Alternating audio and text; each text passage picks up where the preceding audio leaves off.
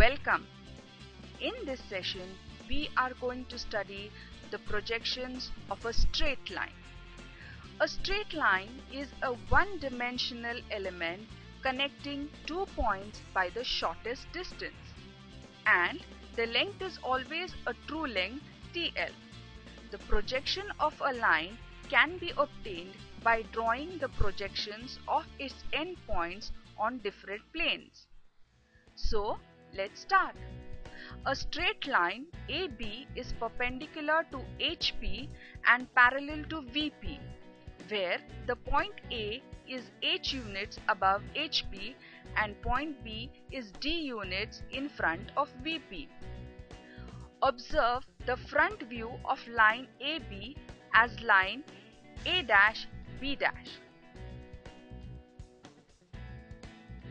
As you can see from top, point B is visible and it hides point A.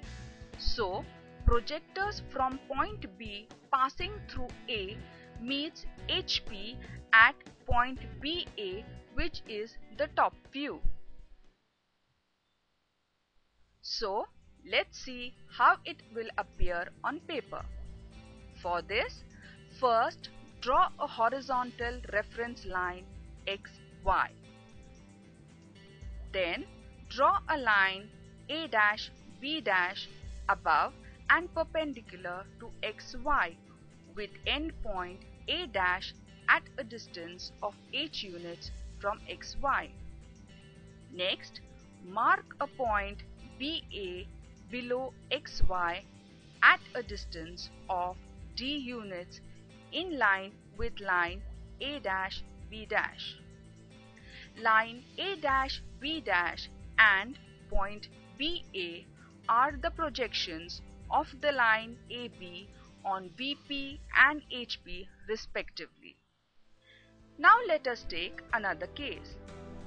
A line AB is inclined to HP at an angle theta and parallel to VP at a distance of d units.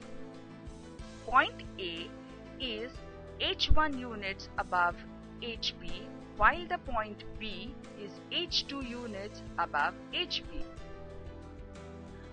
Well, look at the diagram carefully.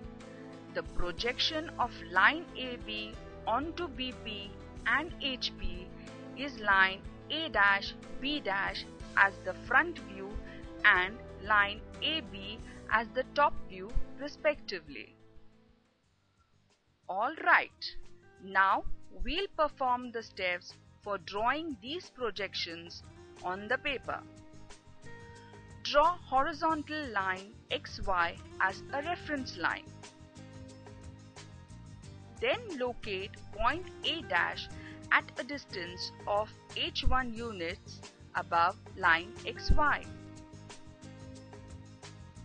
From point A dash, making an angle theta with HP, draw a line of length equal to AB. Locate the other point B dash. So, line A dash B dash will be the front view of line AB. Now, change the position of the observer.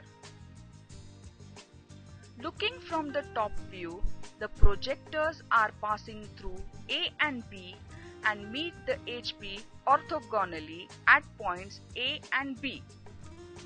The line AB is the top view of line AB.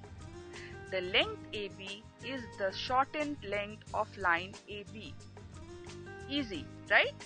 Let's move further discussing a case where the line AB is inclined to both HP and VP and its projection will be shorter in length compared to its actual length. Look at the diagram. Here, line AB is assumed to be parallel to VP but inclined to HP by the angle 45 degrees.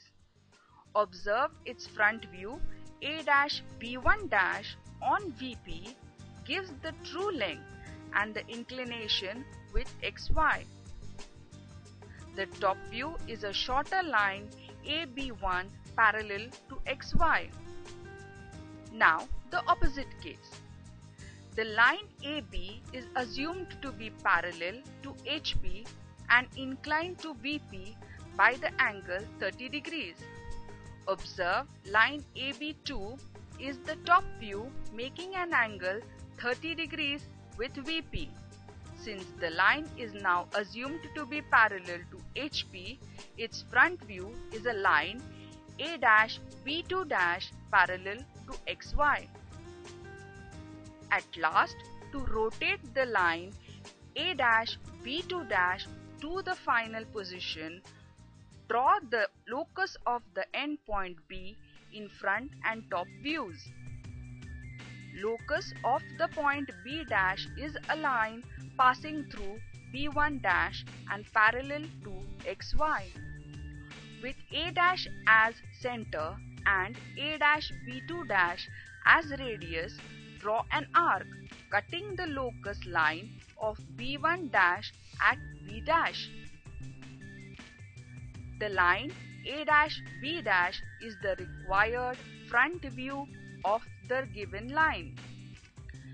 Now, similarly, with A as center and AB1, draw an arc cutting the locus line B2 at B.